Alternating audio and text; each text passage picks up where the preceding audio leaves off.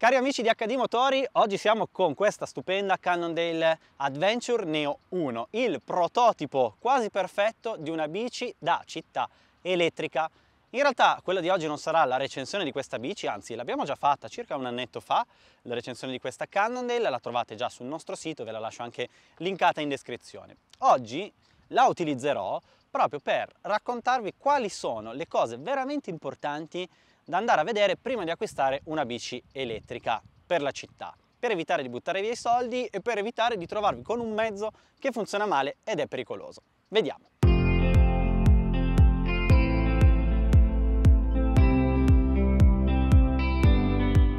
Le primissime cose a cui bisogna prestare attenzione riguardano la normativa. Non dovete acquistare una bici elettrica che comunque è in vendita, se ne trovano diverse, che non è a norma di legge. Prima di tutto in Italia non può superare i 250 watt di potenza e attenzione non dovete confondere la potenza con la capacità della batteria che solitamente è espressa in watt ora. Qua ad esempio abbiamo una batteria da 625 watt che non c'entrano niente però con gli 85 Nm di coppia massima di questo motore che sono perfettamente all'interno della legge. La seconda cosa importante è che una bici elettrica da città o non deve essere a pedalata assistita, non deve essere una bici con un motore in grado di funzionare da solo senza l'intervento sui pedali del ciclista. Quindi la bici deve essere un aiuto alla vostra pedalata per farvi fare meno fatica, ma dovete poter azionare l'assist alla pedalata con i pedali non vanno bene le bici che hanno il manettino per accelerare posizionato sul manubrio. In quel caso, secondo la legge italiana, avreste un mezzo equiparabile ad un ciclomotore e quindi molto probabilmente potreste andare a eh, infrangere in un colpo solo una manciata di normative, per esempio l'utilizzo di un ciclomotore senza patente, senza l'assicurazione, senza la targa, senza indicatori di direzione, magari pure senza casco, insomma una multa che ve la ricordate. Ci vuole il casco in città per andare su una bici elettrica? Beh, è consigliabile, specialmente se eh, fate dei tragitti in cui siete fianco a fianco alle automobili, ma anche in generale eh, per la vostra sicurezza, ma non è obbligatorio. Dove si può circolare con una bici elettrica o a pedalata assistita, fondamentalmente ovunque si possa circolare anche con una bici tradizionale. Eh, di conseguenza potete andare dappertutto tranne che eh, nelle autostrade, nelle strade a grande scorrimento oppure nelle superstrade, nelle tangenziali urbane. Eh, la cosa importante che dovete tenere a mente è che se a fianco a voi c'è una pista ciclabile siete obbligati ad utilizzarla, non potete avere la scelta. Arriviamo poi a parlare di un concetto fondamentale, quello che riguarda i motori e le batterie. È un qualcosa che eh, tutti vanno a controllare e che spesso poi fa sottovalutare tutto il resto, ma ci arriviamo. Per quanto riguarda i motori ne esistono fondamentalmente due tipologie, quelli posizionati nel movimento centrale e quelli posizionati sulla ruota posteriore. Personalmente prediligo quelli in corrispondenza del movimento centrale perché vanno a distribuire un po' meglio il peso della bicicletta in una posizione bassa, abbassando il baricentro la bici diventa un pochino più stabile e anche più eh, maneggevole.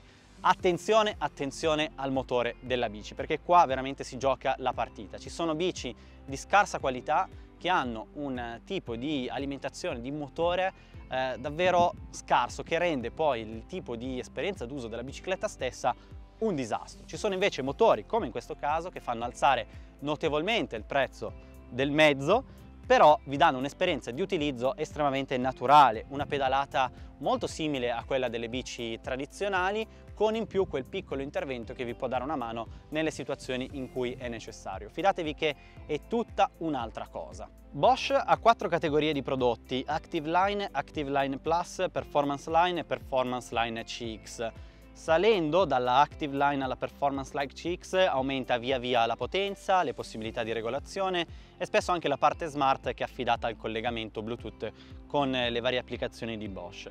Ci sono anche altri produttori oltre a Bosch per quanto riguarda i motori, tra i più famosi ci sono Yamaha e Shimano, Certo è che se rimanete all'interno di questi marchi potete stare veramente sicuri.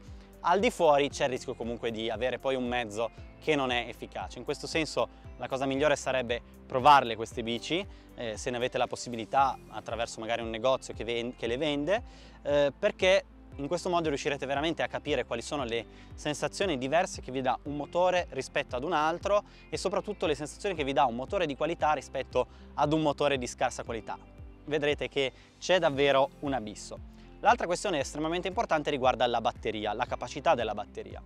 Qui dipende un po' da quelle che sono le vostre esigenze e dipende anche dal motore. Per esempio sul sito di Bosch trovate le indicazioni per ogni motore in base alla capacità della batteria, le autonomie nelle varie modalità di guida, la modalità eh, eco, la modalità eh, sport, la modalità turbo, diciamo tutti i vari livelli di assistenza alla pedalata e scoprirete che per una batteria da 625 Wh come queste si superano tranquillamente i 100 km, quindi non è così necessario arrivare su capacità del genere, anche perché tenete conto che più la capacità aumenta, più il peso diventa importante. Alcune altre cose importanti da sapere rispetto alla batteria, è importante che la batteria si possa togliere, in questo caso vedete un piccolo carter che scopre l'alloggiamento della batteria qua sul telaio, la potete togliere per ricaricarla eventualmente in caso, altrimenti potete ricaricarla direttamente sulla spina che c'è qua sul telaio. È importante poterla togliere anche per diminuire il peso nel momento in cui volete trasportare la bicicletta. Un altro aspetto importante della batteria è che dovete tenere conto che diventa il componente più pesante in assoluto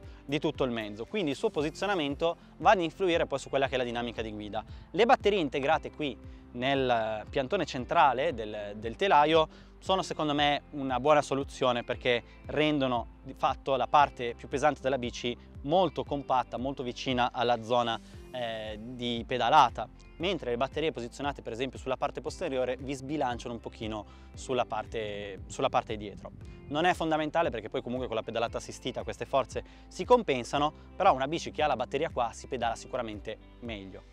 Arriviamo ora a parlare di un argomento che per me è importantissimo. Io sono un appassionato ciclista e di conseguenza veramente non sopporto eh, quelle guide all'acquisto dove vi parlano dell'acquisto delle bici elettriche o delle bici in generale senza prendere in considerazione la ciclistica perché queste bici a pedalata assistita hanno sì una pedalata assistita, un motore, una batteria, però sono prima di tutto delle biciclette e quindi la parte ciclistica è importantissima.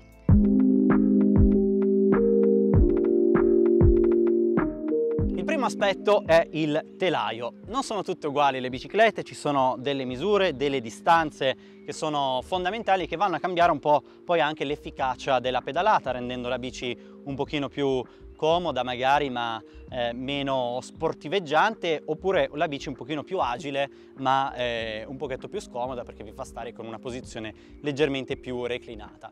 In questo senso la mia raccomandazione è quella di rivolgersi a quei brand che costruiscono biciclette storicamente. Cannondale è uno di questi, no? che ha a catalogo davvero decine e decine di modelli, quindi sa perfettamente come si costruisce una bici. Non a caso questa Adventure Neo ehm, 1 è una bici che pesa 25 kg ma vi assicuro che se voi la utilizzate anche senza la pedalata assistita risulta comunque una bici pedalabile, eh, scorrevole, che non vi dà nessun tipo di fastidio e che si riesce a usare con eh, estrema naturalezza. Questo è molto molto importante e non è assolutamente così per tutte le bici. Oltre al telaio l'altro aspetto fondamentale riguarda la trasmissione. Ce ne sono fondamentalmente di due tipi, un tipo tradizionale, classico, quello eh, che si usa sempre anche sulle bici muscolari con eh, una catena in metallo, un cambio col deragliatore, la corona, la corona anteriore, pacco pignoni oppure un eh, sistema a cinghia. Qui eh, veramente si aprirebbe un mondo, ma se volete possiamo approfondire poi il discorso in un altro video. In questo caso abbiamo una bici a catena, quindi vi parlerò di questo. Ci sono decine e decine di modelli, di cambi, eh, però la cosa importante secondo me è quella di scegliere un componente che sia di un marchio noto, di un marchio affidabile. Eh, io vi consiglio spassionatamente quelli Shimano perché è un marchio che produce decine e decine di modelli da tantissimi anni e sono dei prodotti estremamente robusti, facili nella manutenzione, da qualunque ciclista la possiate portare, lui saprà come metterci le mani e soprattutto durano nel tempo con grande affidabilità. Andiamo poi a parlare delle ruote che sono un componente molto importante e purtroppo tendenzialmente sulle bici si va un po' a fare economia su questo aspetto, cioè le versioni base che riuscite a trovare quando acquistate la bici non sono di grandissima qualità. In questo senso se prendete, se puntate un modello leggermente superiore come in questo caso, avete nel pacchetto anche dei cerchi belli robusti di qualità, in questo caso abbiamo dei cerchi che eh, sono nati per la mountain bike e quindi resistono, sono fatti per resistere anche alle sollecitazioni forti. La dimensione delle ruote ideale secondo me è questa, 27,5 ehm, potrebbe andare bene anche con le ruote un pochino più grandi da 29 però in questo caso secondo me abbiamo un buon compromesso tra maneggevolezza e scorrevolezza. Non intestarditevi invece sui copertoni, sono uno di quei componenti che comunque si consuma, dopo un po' va cambiato e anche doveste avere una bicicletta che ha un, eh, un set di copertoni di scarsa qualità al momento in cui la andate ad acquistare, con una minima spesa, una cinquantina, una sessantina di euro, riuscite a portarvi a casa già due copertoni soddisfacenti. Arriviamo poi a parlare del sistema sospensivo. Ah, qua casca il palco. Ci sono un sacco di bici di qualità super discutibile con l'ammortizzatore, o meglio, la forcella ammortizzata nella parte anteriore. Ecco, io sono un po' contro questa filosofia perché secondo me in città non è strettamente necessario. Con dei buoni copertoni comunque si riesce tranquillamente ad avere un discreto comfort di utilizzo. Ecco, se dovete acquistare una bici ammortizzata, allora prendetela in considerazione solo se andate su dei budget un pochino elevati, almeno 3.000 euro, altrimenti rischiate davvero di avere un componente, la forcella, pesante, di scarsa qualità che, creerà, che, vi creerà dei grattacapi, necessiterà di molta manutenzione e spesso non riuscirà mai a funzionare nel migliore dei modi. Per farvi capire, anche questa bici che sta sui 4.000 euro ha una forcella estremamente basilare a molla, niente di paragonabile anche ad una mountain bike di livello abbastanza basso. Per quanto riguarda la sospensione posteriore, anche qua, discorso come prima, non è strettamente necessario, in questo caso la bici è di fascia alta e ha un sistema molto interessante posizionato qua sul reggisella che va a smorzare più che le, le, sollecitazioni grandi, le piccole vibrazioni e abbinato ad un sellino molto ampio e comodo e morbido rende questa bici davvero davvero comoda su qualunque fondo. Parliamo anche dei freni, qui abbiamo dei freni a disco, io ve li consiglio perché sono freni eh, ormai affidabili che funzionano sempre molto bene.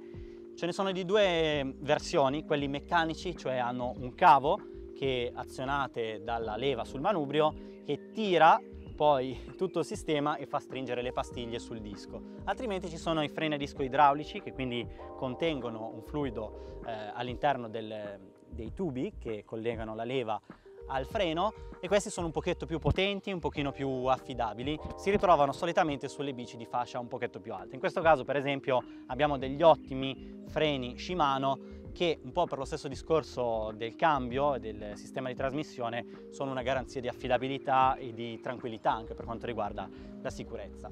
Finora vi ho parlato delle parti importanti della bicicletta, quelle su cui prestare molta attenzione. Adesso invece voglio aggiungere un capitolo che riguarda quegli accessori quegli in più che sono quasi superflui, soprattutto se volete mantenere basso il prezzo e che potete eventualmente aggiungere in un secondo tempo. Il portapacchi è uno di questi.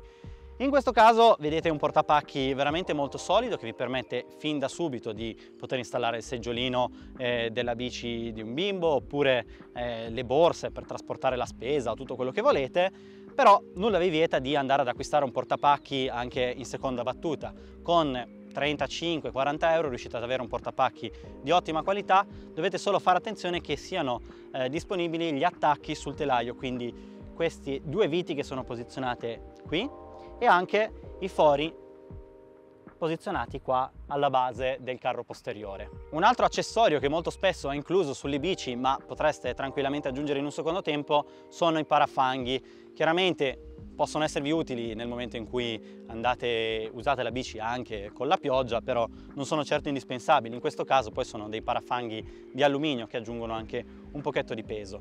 Stesso discorso anche per le luci. Qui abbiamo delle luci che sono collegate direttamente al sistema intelligente, al computer di bordo e quindi potete accendere direttamente da qua, però tenete conto che magari solo questo accessorio fa lievitare di qualche centinaio di euro il costo della bicicletta.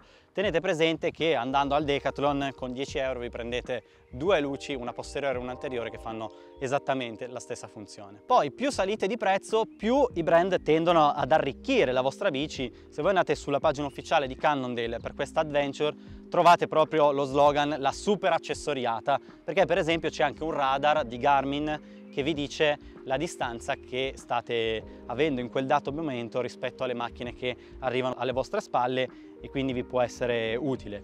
Catari frangenti, pedali, il cavalletto, sono tutti degli orpelli aggiuntivi a cui potete tranquillamente rinunciare. Arriviamo al quinto punto, quello finale, che riguarda chiaramente il prezzo. Quanto bisogna spendere per una bici elettrica da città? E questo è importante in realtà perché vi dico che se trovate una super offerta con una bici elettrica pedalata assistita a 500 euro potete stare tranquilli che molto probabilmente sarà un pacco. Una bici elettrica da città difficilmente, di buona qualità difficilmente costa meno di 1500-2000 euro e io vi consiglio di rimanere almeno su quelle cifre perché altrimenti rischiereste veramente di avere un mezzo comunque pagato caro ma che non vi permette poi di eh, divertirvi, di usare la bici in piena sicurezza. Ecco, tenete presente che un mezzo di questo genere, come in questo caso superiore ai 4.000 euro, secondo me può tranquillamente sostituire uno scooter da città. Eh, è chiaro che col brutto tempo, con l'inverno, poi bisogna acquistare delle, delle, protezioni per la temperatura, eccetera, eccetera. Però la comodità, il fatto che vi permetta di arrivare sul luogo di lavoro o a scuola eh, senza essere sudati completamente, eh, è veramente un bel, un bel valore aggiunto. A proposito di budget, vi consiglio anche di risparmiare qualcosina per il sistema di antifurto.